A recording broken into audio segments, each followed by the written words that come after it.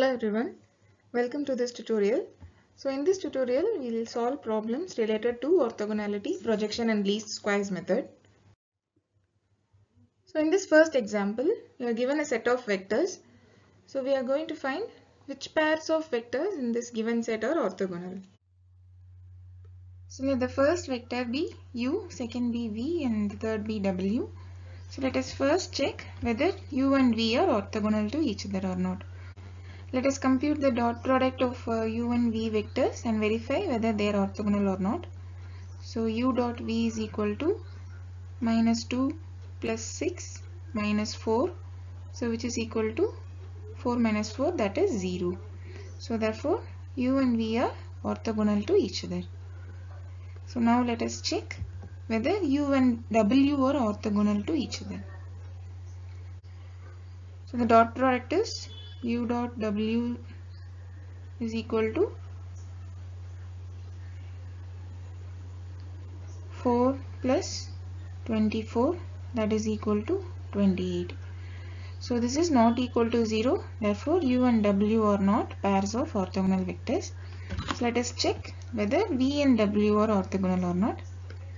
So the dot product is v dot w that is equal to 6 minus 6 this is equal to 0 so therefore these two are orthogonal to each other. So therefore u comma v and v comma w are orthogonal pairs of vectors.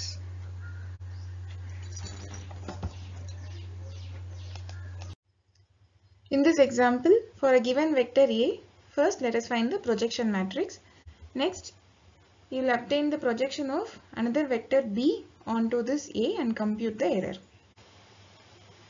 So as discussed in the lectures, the projection matrix P is equal to A into A transpose divided by A transpose into A. So let us find A into A transpose. So this is equal to that is equal to now we shall find A, A transpose into A which is equal to, so that is equal to 18. We have A into A transpose and also A transpose into A. So we get the projection matrix is equal to, so this is a projection matrix So now we are going to find the projection of a vector b onto A. So the projection of b onto the vector A can be obtained by multiplying this projection matrix with the vector b. So that is equal to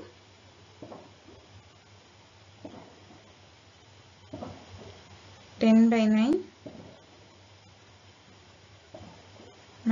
minus 5 by 9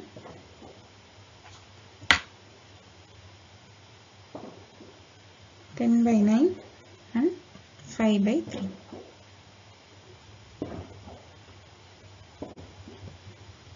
so once we have obtained this projection we can compute the error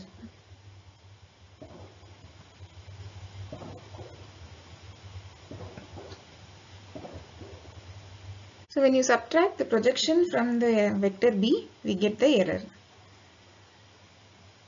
So which is equal to So in this example, for a given vector, we have found the projection matrix and using this projection matrix, we have found the projection of another vector onto this A vector and computed the error. Let us have a short recall of the least squares method where we are going to use this least squares method to find the line of best fit for a given set of data points. So how we are going to do?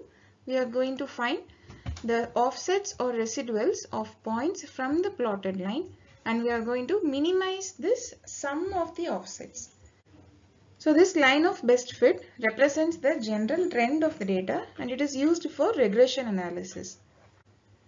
So let us solve a problem for this least squares method.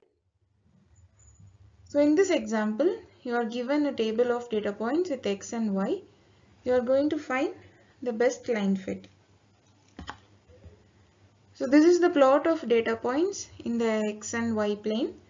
So if you look at this picture, you can see that x and y have some kind of linear relationship. So by using least squares method, we are going to find the best solution that is x hat. So in order to solve this x hat, let us first find the values for A transpose A and A transpose B and find the set of linear equations to solve the x hat value. So if you multiply the first row with the first column, you get 55 and multiplying the first row with the second column, you get 15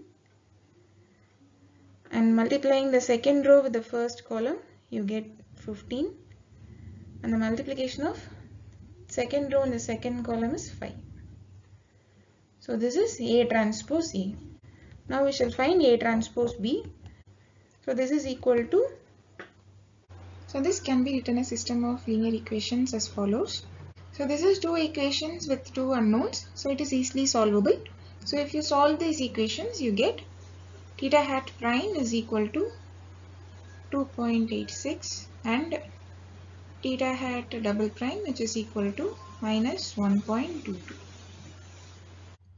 So we have obtained the best line through the given data as y is equal to 2.86x minus 1.22. So this is plotted below. So this line passes through all the data points with minimal error hence it is a best line fit.